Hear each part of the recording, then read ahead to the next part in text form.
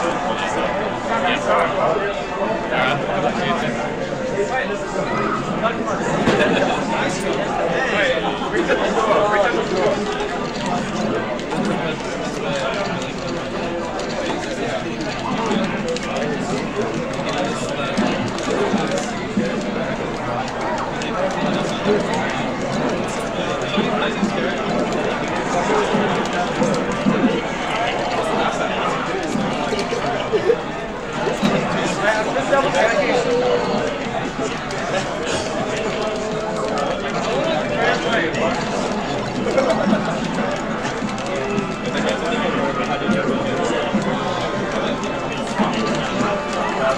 going.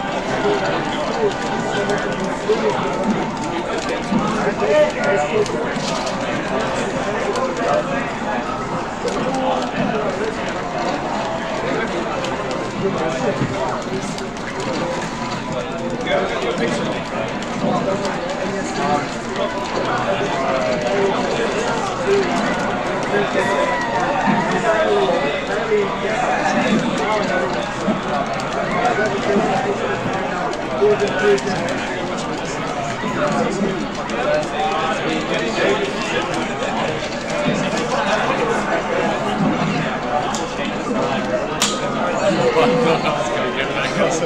Dreamland.